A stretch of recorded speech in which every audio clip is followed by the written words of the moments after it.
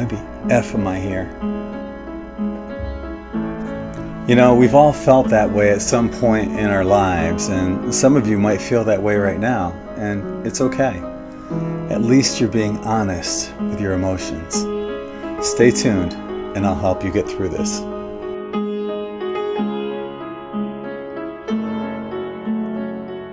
Namaste. My name's Greg Prescott from in5d.com, and today we're going to be talking about a question we've all asked ourselves at some point in our lives Why did I incarnate into this chaos? Did you ever wonder why you decided to incarnate into these lower vibrations of the third density?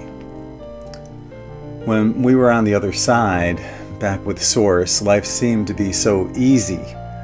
We had the answers to all universal questions and lived in complete vibration of love. There was no dissension, hatred, ego, or financial concerns, just love. After many years of being in this vibration, you forgot what it was like to live in a third dimensional vibration. Yet you were fortunate enough to have been here in at least one other previous incarnation. And you remembered how your spiritual progression was being raised exponentially by being in a world of duality. You swore to yourself that this time you would not allow the lower third dimensional vibrations to bring you down. You planned on bringing back the vibration of love with you to this planet but your memories of being with Source were once again wiped from your immediate memories as the third dimensional brainwashing began yet again. From birth, you were indoctrinated into a system that promotes subservience, control, and conformity. You always felt cognitive dissonance over this, but weren't sure why. It seemed like everybody else was conforming to the system, and this is the way it was supposed to be. You attended school and sometimes caught yourself daydreaming, as if your higher self was telling you, a formal education is not what is important in life. As a child, you were taught how to play sports and learned aggressive self serving behaviors that only reinforce the divine conquer mentality that is forced upon us by our societal expectations. You were pacified with mundane television programs that not only took you further away from who you truly are, but helped to influence what you thought, wore, ate, drank, etc. As you grew older, you started to discover how corrupt this system has become on Earth.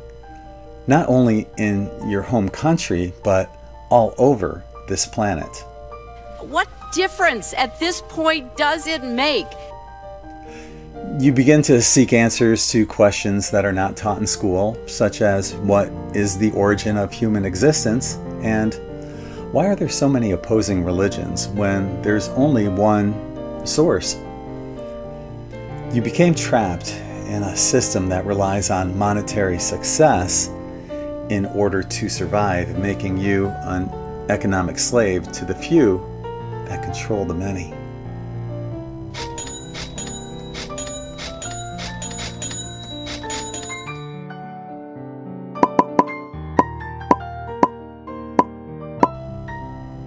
Unknowingly, you became part of that system.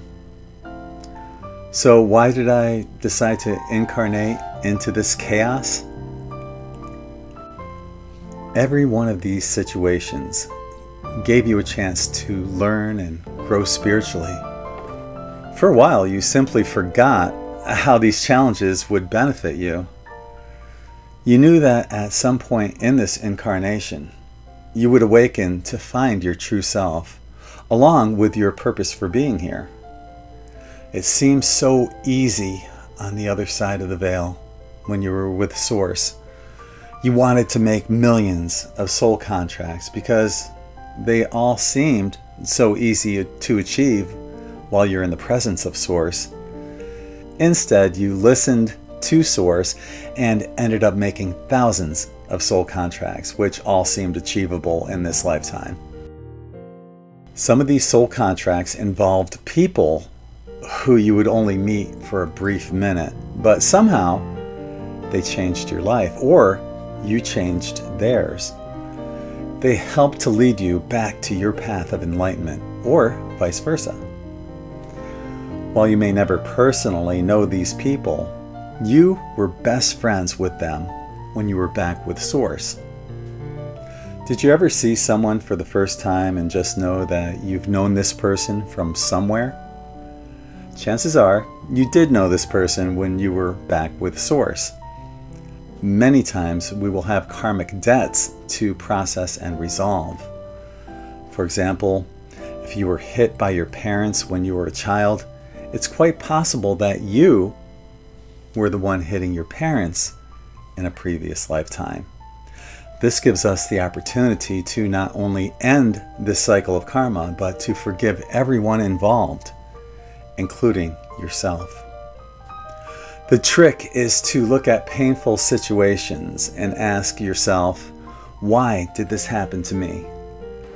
You might not like the answer, but oftentimes, but not every time, we invite these situations into our present lives in order to address unresolved karmic issues from past lives.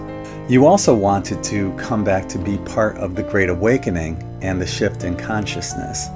We are at a point in time where our planets are completing a 26,000 year cycle called the Precession of the Equinoxes. We're also at the end of a greater cycle in which our solar system has completed its revolution around its own sun called Alcyone. You said to yourself, There is no way I'm going to miss out on this. Besides, you forgot what it was like to experience duality and polarity. In the end, this chaos has been an amazing experience filled with an abundance of opportunities for spiritual growth. If you willingly decide to come back here in another incarnation, look for this video. Remember, you are the light at the end of the tunnel. I'm going to wrap it up there. Thank you for watching this video. My name is Greg Prescott from in5d.com and in5d.net, sending you all infinite love and light. Namaste.